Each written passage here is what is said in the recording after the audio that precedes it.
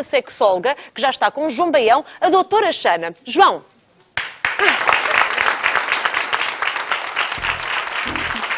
Hoje lançamos mais uma rubrica da nossa grande tarde, um espaço para falar sobre sexualidade, da responsabilidade uh, da doutora Xana, como disse a Andreia. Olá, doutora Xana, o que é que podemos esperar desta rubrica? Então, mas você começa já assim, a seco, a frio, sem preliminares, sem nada? Mas pensava que isto começava como? Então, com uns beijinhos, uh, umas carícias, oh, sei lá. Yeah. Estava a brincar, João. Respire fundo. Já vi que a doutora Xana é uma bem disposta, é uma porreira, uma porreiraça. Proponho-lhe então que falemos hoje sobre a impotência masculina, não é verdade? Porque temos aqui muitos colegas que precisam de saber. Aqui muitos colegas precisam saber disso. O que é que a doutora, o que é que a doutora Xana acha? Isso dos seus colegas parece mal, mas é normal. Em relação uh, ao que proponho, eu gostaria mais de brincar com bonecos eróticos. Pois, mas eu não... Brinquedos. Eu, por acaso, até trouxe aqui um. Mas, eh, se calhar, deixávamos isso mais para, o, para a época do Natal, na medida em que, uh, pronto, os brinquedos ainda é muito cedo. Mas a, a minha primeira questão, doutora Xana, é a seguinte. É possível que o uso do telemóvel possa provocar a impotência? É possível. O telemóvel é um dispositivo que é usado para receber todo tipo de má notícia. Ou seja, imagine que está na cama com a sua cara metade. Sim.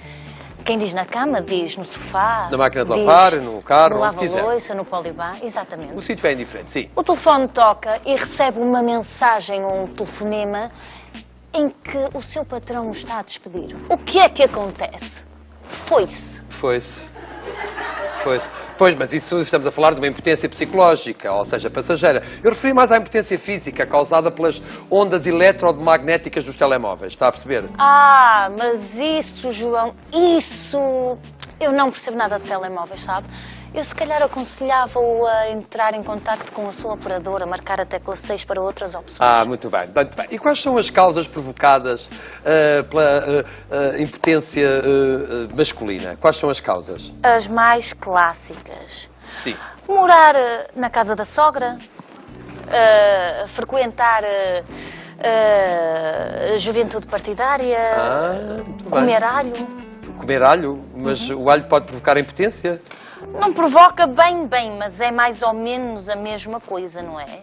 Se experimentar comer um alho à dentada, vai ver se alguém lhe pega. Ah, pois, no fundo, é quase como estar impotente. E o álcool também pode causar disfunção eréctil?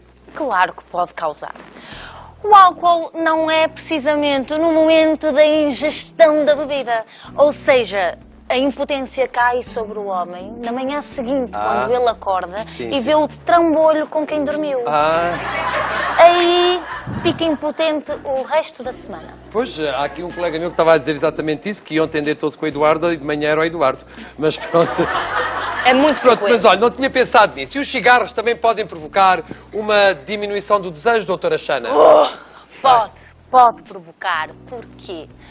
O cigarro pode provocar a diminuição de um sorriso bonito, de uns dentes limpos, de uns pulmões limpos, eh, de um bom hálito, de uma pele saudável. O que é que a doutora Xana diz quando lhe aparece, por exemplo, um homem com disfunção erétil? Fónix, que azar de caraças. Ah, mas isso parece muito mal, não é? Parece mal, mas é normal.